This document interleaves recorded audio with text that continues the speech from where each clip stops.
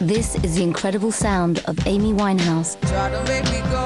Rehab, no, no, no. Amy Winehouse returns yes, with her essential new album, Back to Black, back. Oh, out Monday.